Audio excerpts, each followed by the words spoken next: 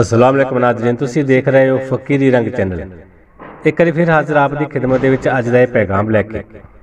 ਅੱਜ ਦੇ ਇਸ ਪੈਗਾਮ ਦੇ ਵਿੱਚ ਆਪ ਜੀ ਦੇ ਨਾਲ ਬਹੁਤ ਅਹਿਮ ਗੱਲ ਸਾਂਝੀ ਕਰਾਂਗਾ ਕਿ ਵੱਡੀ 11ਵੀਂ ਸ਼ਰੀਫ ਦਾ ਇਤਿਹਾਸ ਕੀ ਹੈ। ਵੱਡੀ 11ਵੀਂ ਸ਼ਰੀਫ ਕਿਉਂ ਮਨਾਈ ਜਾਂਦੀ ਹੈ? ਅਸੀਂ ਹਰ ਮੰਥ ਦੇ ਵਿੱਚ 11ਵੀਂ ਮਨਾਉਂਦੇ ਹਾਂ। ਪਰ ਇਹ 11ਵੀਂ ਸ਼ੁਰੂ ਕਿੱਥੋਂ ਹੋਈ, ਕਿਵੇਂ ਮਨਾਈ ਗਈ ਤੇ ਕਿਉਂ ਮਨਾਈ ਜਾਂਦੀ ਹੈ? ਅੱਜ ਇਸ ਦੇ ਬਾਰੇ ਪੂਰੀ ਆਪਾਂ ਗੱਲ ਸਾਂਝੀ ਆਪ ਜੀ ਦੇ ਨਾਲ ਕਰਾਂਗੇ। ਕਿਉਂਕਿ ਆਪ ਜਾਣਦੇ ਹੋ ਕਿ ਇਸ ਦੁਨੀਆ ਦੇ ਅੰਦਰ ਜੋ ਪੀਰੀ ਫਕੀਰੀ ਦਾ ਸਿਲਸਿਲਾ ਹੈ ਉਸ ਦੇ ਵਿੱਚ ਪੰਜ ਤਨ ਪਾਕ 14 ਮਸੂਮ 12 ਇਮਾਮ 4 ਪੀਰ 14 ਖਾਨਦਾਨ ਤੇ 72 ਫਿਰਕੇ ਹੋਏ ਨੇ। ਜਿੱਥੋਂ ਇਹ ਗੱਲ ਸ਼ੁਰੂ ਹੁੰਦੀ ਹੈ। ਕਿਉਂਕਿ ਜੋ ਪੰਜ ਤਨ ਪਾਕ ਦਾ ਘਰਾਣਾ ਹੈ, ਹਜ਼ਰਤ ਪੀਰ ਮੀਰਾ ਗੌਸ ਪਾਕ ਸਰਕਾਰ, ਸਭ ਤੋਂ ਪਹਿਲਾਂ ਜਦੋਂ 11ਵੀਂ ਸ਼ਰੀਫ ਸ਼ੁਰੂ ਹੋਈ ਤੇ ਮੀਰਾ ਗੌਸ ਪਾਕ ਸਰਕਾਰ ਪੰਜ ਤਨ ਪਾਕ ਦੀ ਯਾਦ ਦੇ ਵਿੱਚ 11ਵੀਂ ਸ਼ਰੀਫ ਦਾ ਖਤਮ ਦਵਾਇਆ ਕਰਦੇ ਸਨ। ਪੰਜ ਤਨ ਪਾਕ ਦੇ ਵਿੱਚ ਜਦੋਂ ਮੀਰਾ ਗੌਸ ਪਾਕ ਸਰਕਾਰ ਜੀ ਨੇ ਉਹਨਾਂ ਦੀ ਯਾਦ ਦੇ ਵਿੱਚ ਪੰਜ ਤਨ ਪਾਕ ਘਰਾਣੇ ਦੀ ਯਾਦ ਦੇ ਵਿੱਚ 11ਵੀਂ ਸ਼ਰੀਫ ਦਵਾਉਣੀ। ਪਹਿਲਾਂ ਇਹ 11ਵੀਂ ਸ਼ਰੀਫ ਇੱਕ ਸਾਲ ਬਾਅਦ ਮਨਾਈ ਜਾਂਦੀ ਸੀ। ਪੰਜਤਨ ਪਾਕ ਦੀ ਯਾਦ ਦੇ ਵਿੱਚ ਜਦੋਂ ਆਪਾਂ ਜਾਣਦੇ ਹੋ ਕਿ ਕਰਬਲ ਦੀ ਜੰਗ ਹੋਈ, ਜਦੋਂ ਪੰਜਤਨ ਪਾਕ ਨੂੰ ਸ਼ਹੀਦ ਕੀਤਾ ਗਿਆ, ਦਿਨ 10ਵਾਂ ਰਾਤ ਦੀ 11ਵੀਂ ਉਸ ਵਕਤ 10 ਮੁਹਰਮ, ਮੀਰਾ ਗੌਸ ਪਾਕ ਸਰਕਾਰ, ਉਹਨਾਂ ਬਜ਼ੁਰਗਾਂ ਨੂੰ ਯਾਦ ਕਰਕੇ ਤੇ ਉਹਨਾਂ ਦੇ ਨਾਮ ਤੇ ਦਿਨ 10ਵਾਂ ਤੇ ਰਾਤ ਦੀ 11ਵੀਂ 11 ਤਰੀਕ ਨੂੰ ਉਹ ਉਹਨਾਂ ਦੀ ਯਾਦ ਦੇ ਵਿੱਚ ਦਿਨ ਮਨਾਉਂਦੇ ਸਨ। ਉਸ ਤੋਂ ਬਾਅਦ ਫਿਰ ਕੀ ਹੋਇਆ?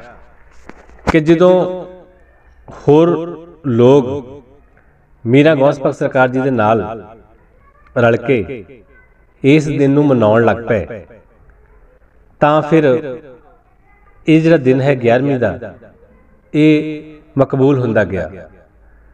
ਫਿਰ ਮੀਰਾ ਗੌਸ ਪਾਕ ਸਰਕਾਰ ਜੀ ਨੇ ਕੀ ਕੀਤਾ ਕਿ ਹਰੇਕ ਮਹੀਨੇ ਜਦੋਂ 11 ਦਿਨ 10ਵਾਂ ਤੇ ਰਾਤ ਦੀ 11ਵੀਂ ਜਦੋਂ 11 ਤਰੀਕ 10 ਤਰੀਕ ਹੁੰਦੀ ਤੇ ਦੂਏ ਦਿਨ ਰਾਤ ਨੂੰ 11 ਹੁੰਦੀ। ਉਸ ਦਿਨ, ਇਸ ਦਿਨ ਨੂੰ 11ਵੀਂ ਸ਼ਰੀਫ ਦੇ ਨਾਂ ਤੇ ਮਨਾਉਣ ਲੱਗ ਪਏ। ਵੀ 11 11ਵੀਂ ਤਰੀਕ ਜਿਹੜੀ ਹਰੇਕ ਮਹੀਨੇ ਦੀ ਉਹ ਮਨਾਉਣੀ ਹੈ। ਪੰਜ ਤਨ ਪਾਕ ਦੀ ਯਾਦ ਦੇ ਵਿੱਚ। ਤੇ ਐਸੀ 11ਵੀਂ ਮਸ਼ਹੂਰ ਹੋਈ। ਫਿਰ ਲੋਕ ਆਪਣੇ ਆਪਣੇ ਸ਼ਹਿਰ ਦੇ ਵਿੱਚ, ਮੀਰਾ ਗੌਸਪਾ ਸਰਕਾਰ ਦੀ ਯਾਦ ਦੇ ਵਿੱਚ 11ਵੀਂ ਸ਼ਰੀਫ ਕਰਨ ਲੱਗ ਪਏ। ਉਸ ਤੋਂ ਬਾਅਦ ਜਦੋਂ 11ਵੀਂ ਸ਼ਰੀਫ ਮੀਰਾ ਗੌਸਪਾ ਸਰਕਾਰ ਦੇ ਨਾਲ ਬਹੁਤ ਸਾਰੇ ਲੋਕ 11ਵੀਂ ਸ਼ਰੀਫ ਦਾ ਲੰਗਰ ਕਰਦੇ ਸਨ। 11ਵੀਂ ਸ਼ਰੀਫ ਵਾਲੇ ਦਿਨ ਗਰੀਬਾਂ ਨੂੰ, ਯਤੀਮਾਂ ਨੂੰ ਖਾਣਾ ਦਿੱਤਾ ਜਾਂਦਾ ਸੀ। ਲੋੜਵੰਦ ਲੋਕਾਂ ਨੂੰ ਉਹਨਾਂ ਦੀ ਮਦਦ ਕੀਤੀ ਜਾਂਦੀ ਸੀ। ਜੋ ਉਹਨਾਂ ਦੀ ਚੀਜ਼ ਚਾਹੀਦੀ, ਉਹ ਚੀਜ਼ ਉਹਨਾਂ ਨੂੰ ਦਿੱਤੀ ਜਾਂਦੀ ਸੀ। ਇਸ ਤਰ੍ਹਾਂ 11ਵੀਂ ਸ਼ਰੀਫ ਦਾ ਇਤਿਹਾਸ ਅੱਗੇ ਵਧਦਾ ਗਿਆ। ਫਿਰ ਪੰਜ ਤਨ ਪਾਕ ਸਰਕਾਰ ਜੀ ਦਾ ਐਸਾ ਕਰਮ ਹੋਇਆ। ਮੀਰਾ ਗੌਸ ਪਾਕ ਸਰਕਾਰ ਜੀ ਦੇ ਉੱਤੇ। ਐਸੇ ਉਹ ਖੁਸ਼ ਹੋਏ ਤੇ ਉਹਨਾਂ ਨੇ ਇੱਕ ਬਚਨ ਕੀਤਾ ਮੀਰਾ ਗੌਸ ਪਾਕ ਸਰਕਾਰ ਜੀ ਦੇ ਨਾਲ। ਕਹਿੰਦੇ ਕਿ ਜਿਵੇਂ ਤੁਸੀਂ ਸਾਡੀ 11ਵੀਂ ਮਨਾ ਰਹੇ ਹੋ, ਸਾਡੇ ਨਾਂ ਦੀ ਤਰੀਕ, ਤੇ ਜਾਓ ਆਉਣ ਵਾਲੀ ਦੁਨੀਆ ਦੇ ਵਿੱਚ ਆਪ ਜੀ ਨੂੰ 11ਵੀਂ ਵਾਲਾ ਪੀਰ ਦੇ ਨਾਮ ਨਾਲ ਹੀ ਜਾਣਿਆ ਜਾਵੇਗਾ ਤੇ ਲੋਕ ਤੁਹਾਡੇ ਨਾਂ ਦੀ 11ਵੀਂ ਮਨਾਇਆ ਕਰਨਗੇ। ਇਸੇ ਤਰ੍ਹਾਂ ਫਿਰ ਗੌਸ ਪਾਕ ਸਰਕਾਰ ਜੀ ਦੇ ਨਾਮ ਦੀ 11ਵੀਂ ਸ਼ਰੀਫ ਮਨਾਈ ਜਾਣ ਲੱਗੀ। ਹੁਣ ਤੁਸੀਂ ਜਾਣਦੇ ਹੋ ਕਿ ਹਰ ਪੀਰ ਫਕੀਰ ਨੂੰ ਮੰਨਣ ਵਾਲਾ ਵਿਅਕਤੀ, ਹਰ ਮੁਰੀਦ, ਜੋ ਕਿਸੇ ਵੀ ਪੀਰ ਦੇ ਨਾਲ ਨਿਸਬਤ ਰੱਖਦਾ ਹੈ 11ਵੀਂ ਸ਼ਰੀਫ ਦਾ ਖਤਮ ਜ਼ਰੂਰ ਦਬਾਉਂਦਾ ਹੈ। ਕਿਉਂਕਿ 11ਵੀਂ ਸ਼ਰੀਫ ਜਿਹੜੀ ਹੈ, ਉਹ ਮੀਰਾ ਗੌਸ ਸਰਕਾਰ ਜੀ ਦੇ ਨਾਲ ਜੁੜਦੀ ਹੈ।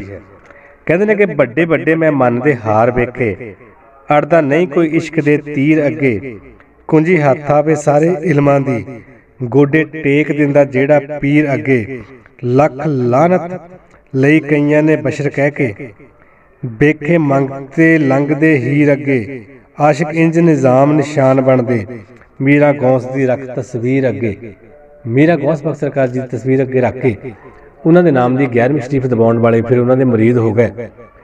ਤੇ ਜਦੋਂ ਗੌਸ ਬਖਸ਼ ਸਰਕਾਰ ਜੀ ਇਸ ਦੁਨੀਆ ਤੋਂ ਪਰਦਾ ਕਰਕੇ ਗਏ, ਉਹਨਾਂ ਦੇ ਵਿਸਾਲ ਦਾ ਦਿਨ ਸੀ। ਉਹਨਾਂ ਨੇ ਇਸ ਦੁਨੀਆ ਨੂੰ ਅਲਵਿਦਾ ਕਿਹਾ, ਇਸ ਦੁਨੀਆ ਤੋਂ ਫਾਨੀ ਦੁਨੀਆ ਤੋਂ ਜਦੋਂ ਗੌਸ ਬਖਸ਼ ਸਰਕਾਰ ਪਰਦੇ ਅੰਦਰ ਗਏ ਇਸ ਮਹੀਨੇ ਦੇ ਵਿੱਚ ਉਹ ਪਰਦੇ ਅੰਦਰ ਗਏ ਸਨ। ਤੇ ਉਹਨਾਂ ਦੇ ਮੁਰੀਦਾਂ ਨੇ, ਉਹਨਾਂ ਦੇ ਆਸ਼ਿਕ ਲੋਕਾਂ ਨੇ ਇਸ 11ਵੀਂ ਨੂੰ ਵੱਡੀ 11ਵੀਂ ਸ਼ਰੀਫ ਦੇ ਦਿਨ ਦੇ ਨਾਲ ਮਨਾਉਣਾ ਸ਼ੁਰੂ ਕਰ ਦਿੱਤਾ। ਤੋ ਇਸੇ ਤਰ੍ਹਾਂ ਫਿਰ ਜੋ ਇਹ 11ਵੀਂ ਹੈ, ਗੌਸ ਪਾਕ ਸਰਕਾਰ ਜੀ ਦੇ ਵਿਸਾਲ ਦਾ ਦਿਨ ਹੈ। ਉਹਨਾਂ ਦਾ ਦਿਨ ਇਸ ਦੁਨੀਆ ਤੋਂ ਪਰਦਾ ਕਰਨ ਦਾ। ਤੇ ਮੀਰਾ ਗੌਸ ਪਾਕ ਸਰਕਾਰ ਜੀ ਦੇ ਜੋ دیਵਾਨੇ ਸੀ, ਉਹਨਾਂ ਨੇ ਵੱਡੀ 11ਵੀਂ ਸ਼ਰੀਫ ਦਾ ਨਾਮ ਦੇ ਕੇ ਤੇ ਇਸ ਦਿਨ ਨੂੰ ਮਨਾਉਣਾ ਸ਼ੁਰੂ ਕਰ ਦਿੱਤਾ। ਇਸ ਤਰ੍ਹਾਂ ਹੁਣ ਜੋ ਇਸ ਮੰਥ ਦੇ ਵਿੱਚ 11ਵੀਂ ਹੈ, ਇਹ ਵੱਡੀ 11ਵੀਂ ਹੈ।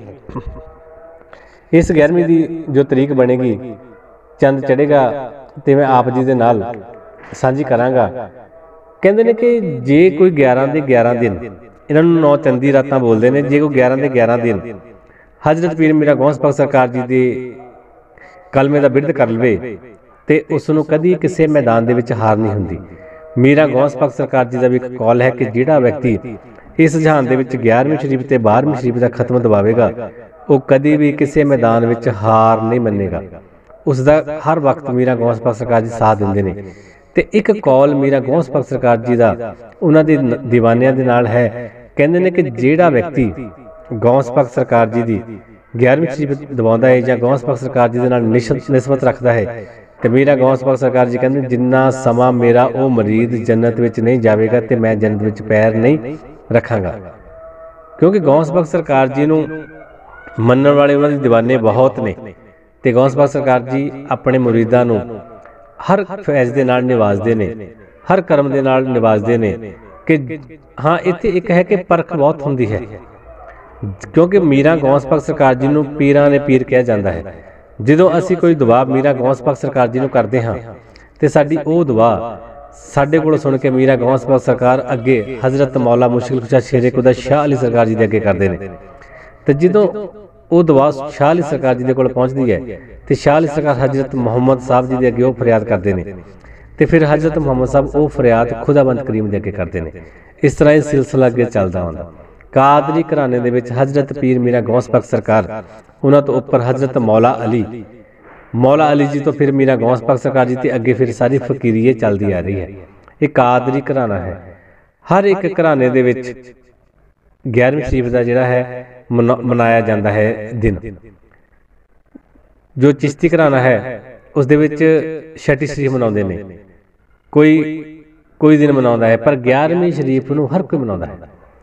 ਮੇਰਾ ਗੌਸ ਪਾਕ ਸਰਕਾਰ ਜੀ ਦੇ ਨਾਲ ਨਿਸਬਤ ਹਰ ਕੋਈ ਰੱਖਦਾ ਹੈ।